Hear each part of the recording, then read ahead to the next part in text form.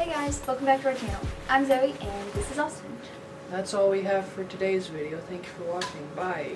Now just hold on a minute, we haven't even told the story. Maybe we have and you just don't remember.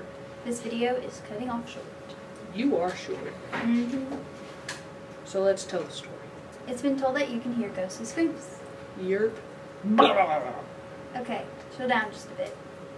Okay. People have reported hearing screeching and the screaming of a disturbed child. There is also a story of a haunted house where a man killed his family before killing himself right off by the bridge. A woman's husband claims to have seen blood leading from the well in the house, Also seeing a man on the back porch. though no other reports were made on the house. So it definitely happened. The bridge is an iron bowstring, so that explains the screeching. What about the baby?